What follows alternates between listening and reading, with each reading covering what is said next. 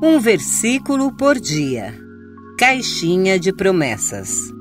Então romperá a tua luz como a alva, e a tua cura apressadamente brotará, e a tua justiça irá adiante de ti, e a glória do Senhor será a tua retaguarda.